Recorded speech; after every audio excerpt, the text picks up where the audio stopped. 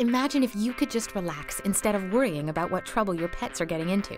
Invisible Fence brand now offers indoor and outdoor solutions customized for your pets to help them avoid bad behaviors that stress you out. Guaranteed. Call or go online today